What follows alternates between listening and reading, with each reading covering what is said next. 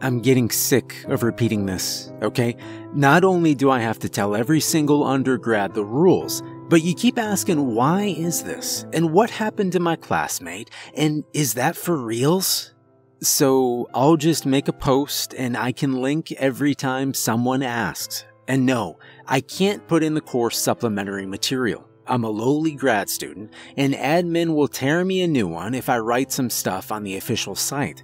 Also, there are worse things than admin which may notice. Most of these rules are just common sense.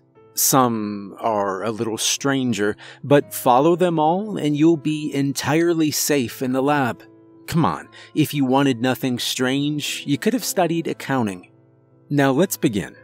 Number one, don't stay in the microscope room when we refill the cooling liquid. Why do I even have to say this? Did you sleep through every single class in your life? Ventilation in the microscope room is shit, and when we change the liquid nitrogen, if enough of it evaporates, then you can lack oxygen and suffocate.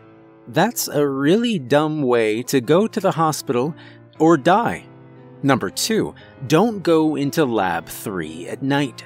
To start with, you shouldn't be at uni after 6 p.m., it's illegal, but I know how things go in reality. We've got to finish projects and professors with crazy expectations. You shouldn't go into Lab 3 either, and there's a sign to remind you. But I know you people get bored or really need a screwdriver, and you see it's always full of pristine instrumentation. So, okay. If you really need it, go inside Lab 3 and have a quick look, or take your shiny voltmeter or whatever. But not after sundown. I'd write a poem if I were to tell you all the reasons, and you wouldn't even believe me.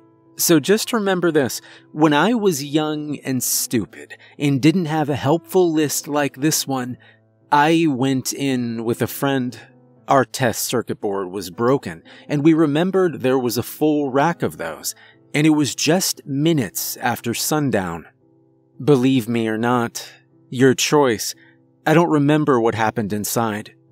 I remember the room full of shiny instruments, the vacuum chamber, the optical bench with the gleaming lenses, and then nothing.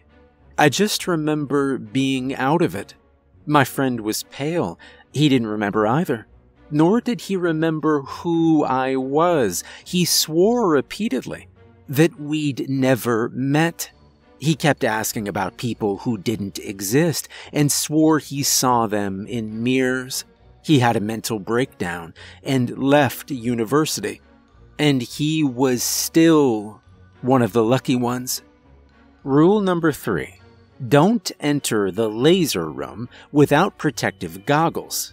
Look, I don't care how sure you are that the laser isn't operating, or how quickly you're going in, or if you think squinting will help you.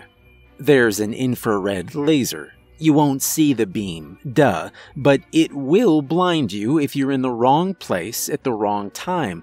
So wear your damn goggles. Or better still, just stay out. What are undergrads doing there anyway? I know it's not used in first year experiments.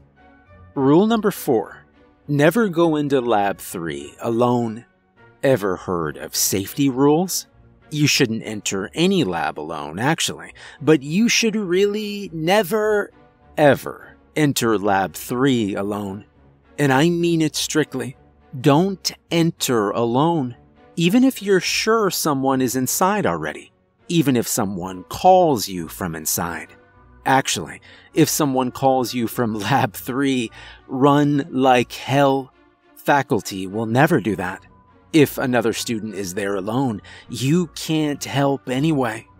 I think you know this one. Even professors warn you usually. The only time I've seen someone break in and go alone, when she came back, she kept laughing at the wrong things. She didn't seem to remember names and behaved like a completely different person. About a month later, she killed her roommate using mirror shards as knives. She laughed all the time at the trial. Rule number five don't sleep in the lab. Like, why would you even do that? Yeah, you partied all last night, and you convinced your lab mates to let you nap a little. Well, don't. First, if professors catch you, they'll be furious and will remember about it. They're not nearly as senile as you think. Second, it's just not safe. I don't care if you sleep like a stone at home, for some reason, people tend to sleepwalk in the lab. I've seen a girl wake up and walk straight to the liquid nitrogen. We stopped her just before she could drink it. Twice. I've seen students sleepwalk to Lab 3. See previous point, okay? I don't want to say more. Rule number 6. If you put food in the fridge, label it and eat only your own. Come on, this is basic civility. Were you raised in a barn? The fridge and microwave are free for students to use, and I know it's a lifesaver during some long ass projects. But if you don't put your name and the date, it will be a mess. Either something will be left to rot, and it's just gross, or you'll eat someone else's lunch and start a feud which will last the rest of your academic career. Two full professors are still sabotaging each other for a sandwich incident 35 years ago. I swear. Also, really, really don't eat unlabeled food in the second level. It's not for students. It's not for anyone, actually. We leave it on Friday, and it's gone by Monday. Don't ask questions about this one, okay? Just don't eat it. Ever. Rule number seven don't bring mirrors inside the lab. Yeah, I know like half of you picked lab mates in the hopes of hitting on them during those long, boring hours, and the other half are stuck with someone who is hitting on them. Tough luck. If you wanted a sentimental life, you should have gone for the humanities.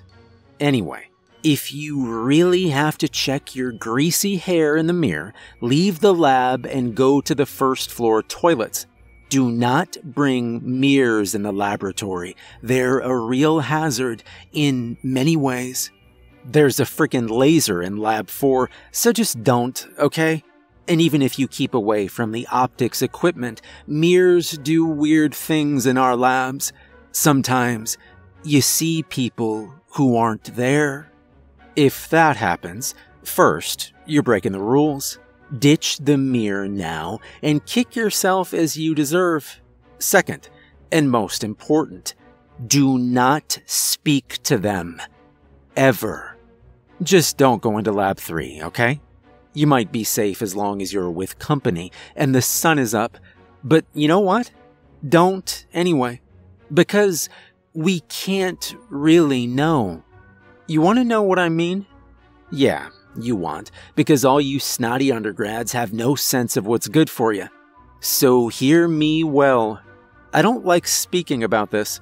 You won't find any proof of it. If you want to laugh, do. Think it's a prank, whatever. Just don't go into the lab. Remember what I said about my friend who forgot about me? We were doing the transistor current response experiment. You still do it, it's boring as hell, but the professor loves it to bits. So you'll know it's usually three people doing it.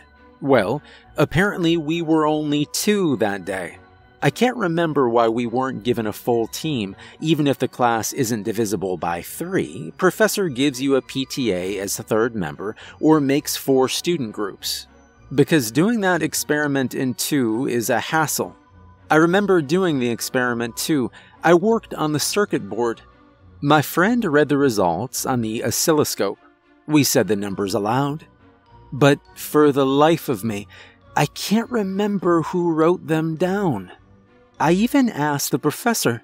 He frowned, said he really thought we had three student groups only, but the records he kept show only two names.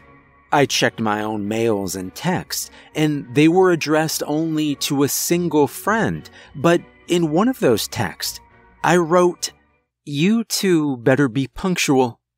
I'll say the truth, I can't prove it, but I think three people entered Lab 3 that day. Only two came out, one with his memory damaged the other forgotten.